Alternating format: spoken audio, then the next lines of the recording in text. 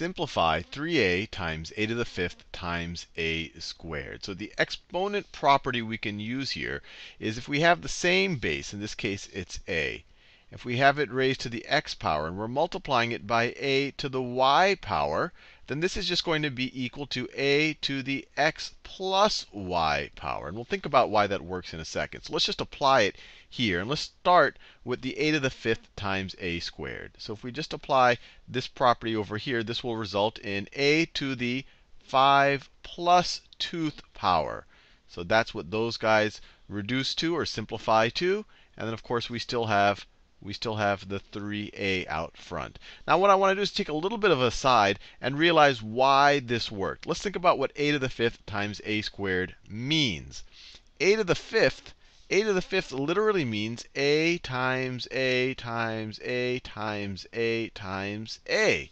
Now a squared literally means a times a a times a. And we're multiplying the two times each other. So we're multiplying these 5a's times these two a's.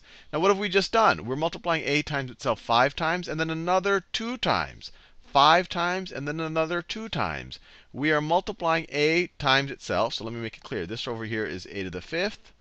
This over here is a squared. But when you multiply the two, you're multiplying a by itself you're multiplying a by itself 7 times. 5 plus 2. So this is a to the 7th power, a to the 5 plus 2 power.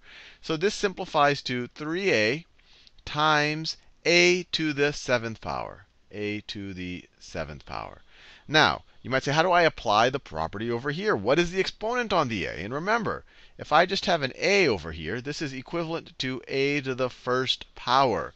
So I can rewrite 3a as 3 times a to the first power. And now it maybe make, makes it a little bit clearer a to the first power. And the associative property of multiplication, I can do the multiplication of the a's before I worry about the 3's. So I can multiply these two guys first. So a to the first times a to the seventh. I just have to add the exponents because I have the same base and I'm taking the product. That's going to be a to the eighth power. And I still have this 3 out front. So 3a times a to the fifth times a squared simplifies to 3a to the eighth power.